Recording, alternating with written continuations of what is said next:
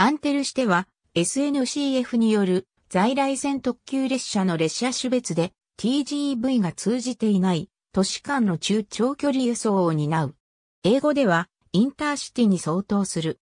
なお、ドイツ、スイス、オーストリア等他国のインターシティに多く見られる1から2時間ごとのパターンダイヤは採用されていない。車両は主にコライユ型が用いられている。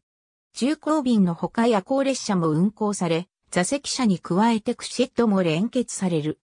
旧称は、コライユテオズ、コライユ、コライユアンテルして、夜行列車のコライユルゲアであったが、2011年に、これらは、アンテルしてに再編された。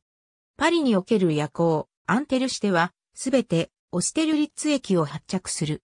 パリから南東方面への路線の起点は本来リヨン駅であるが、夜行アンテルしてのみはこの方面も、オステルリッツ駅発である。